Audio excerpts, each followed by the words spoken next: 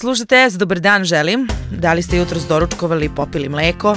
Ja ne odustajem. Mislim, ministar Knežević je nazdravio mlekom još pre nedelju dana i to je trebalo da nas umiri, a i rezultati su pokazali da je mleko koje viđate na policama u supermarketima ispravno, tako da je narod nastavio da kotrlja, sklonjeni su ti sumnjivi uzorci, ali neko je konačno progovorio.